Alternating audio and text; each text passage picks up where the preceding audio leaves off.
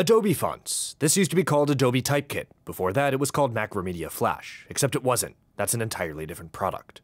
This video is going to be about setting up Adobe fonts in your Webflow account. And keep in mind, you'll want to check with Adobe when creating websites for others, as Adobe is starting to require each of your clients to have their own Adobe Fonts account.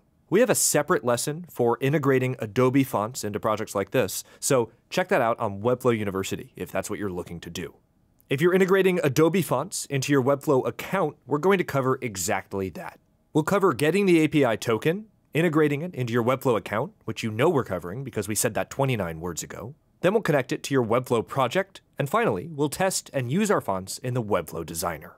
Okay, getting a key. You'll need an Adobe Fonts account. This might be included in existing Adobe subscriptions, like Creative Cloud. And you can add different fonts to what Adobe calls web projects. Is that important? Sort of. Not the name, but the concept.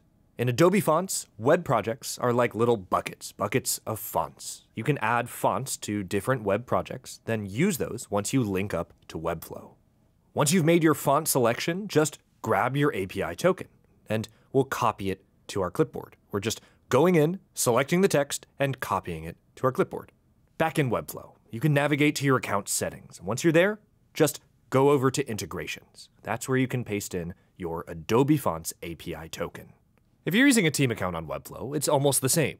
Account, team, fonts, paste, coffee, sugar. Last major step. Linking up to a project involves going over to the project settings for that project.